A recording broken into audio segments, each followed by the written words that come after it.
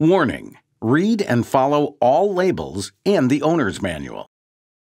When using an oxy-fuel torch, it's important to never completely empty the contents of the cylinders. Instead, be sure to leave a minimum of 20 psi to prevent reverse flow of the opposite gas into that cylinder. Unfortunately, torch operators often try to use every last bit of oxygen in the cylinder. As the cylinder empties, the operator often opens the torch oxygen valve even further to compensate for the loss of pressure. Of course, the same thing can happen if you use up all the fuel gas.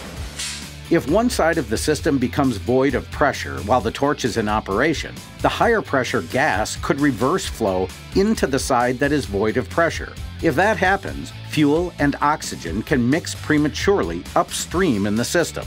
For example, a reverse flow of fuel gas into the oxygen side of the system can occur if the oxygen side is void of pressure, but fuel pressure remains. This is a dangerous situation that could lead to a flashback.